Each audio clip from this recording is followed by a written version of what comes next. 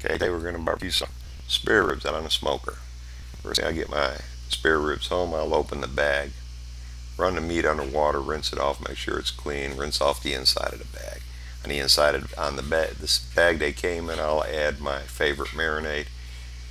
I like just uh, Coca-Cola, water, some Worcestershire sauce, then I add my some of my favorite spices. Let it marinate for about 24 hours. Once it's done marinating, slap it out. I get a rub that I like.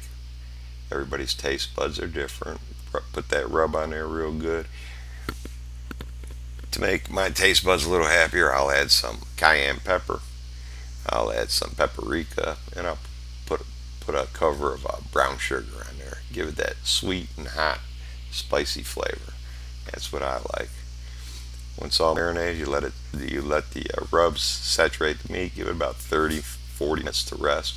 Get your grill going, get your smoker going. You see, make sure your pot in your little pan or pot in there has got water in it. Helps keep your meat moist while it's cooking. Run that grill, keep that temperature good. I like between 210 and 250 degrees. I love hickory chips. I can't get enough hickory flavor. I'll be adding chips the whole time it's cooking. See my temperature is low, your temperature gets low, Get some more charcoal bricks in there. Get that thing to heat back up, like I said, between 210 250. Cook take you about five hours to cook them. You keep an eye on it. They usually stay moist with that water. If they start looking dried out, get a spray bottle, put some spray them with water or spray them with apple juice. Keep them sweet.